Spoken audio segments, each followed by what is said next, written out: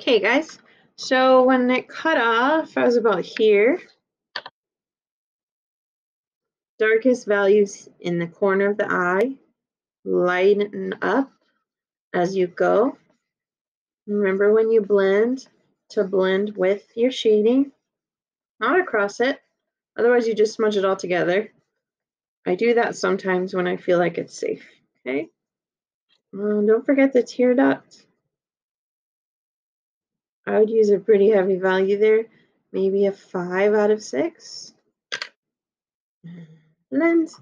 Now let's go to the other side of the eye, right here.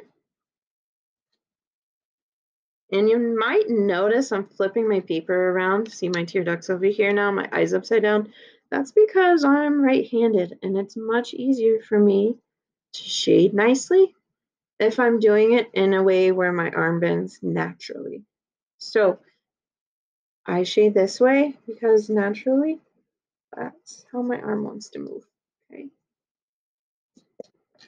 I shade, I blend. You might have noticed that I've left the inside of the eye totally blank.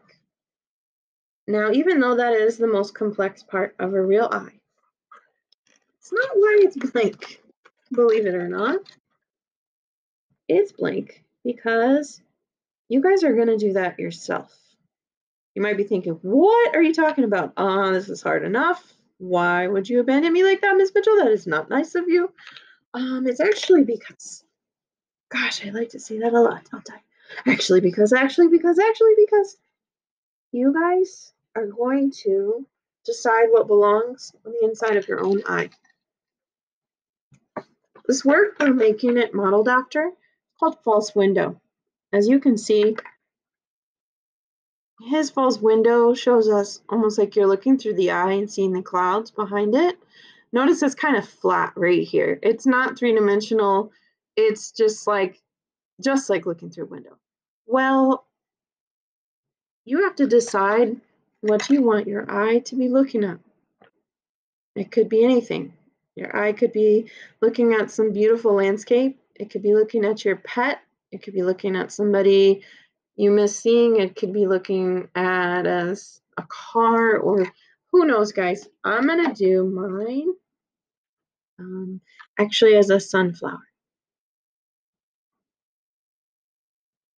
Because I miss seeing those beautiful, colorful sunflowers. So I'm going to go ahead and shade in the pupil. This would probably be a value 5 or 6. I'm going to say six.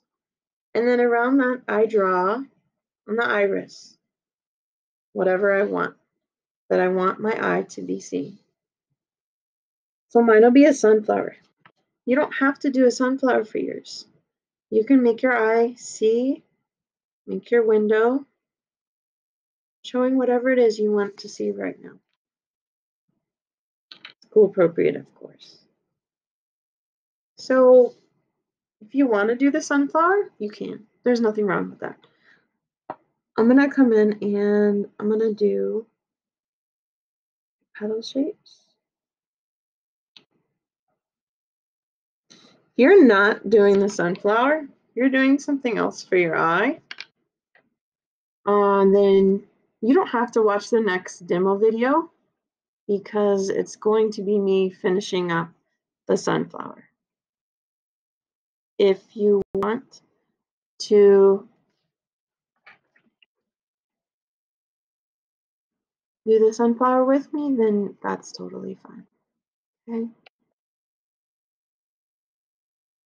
Guys, I thought I had. Oh, that's a good one.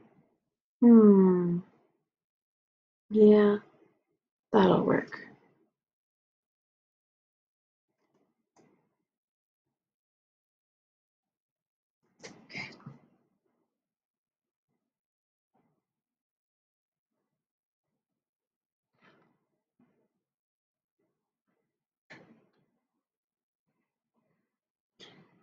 Don't worry about making things too realistic.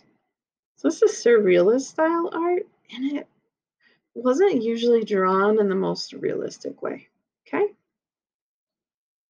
If you're drawing something on your own, like a car or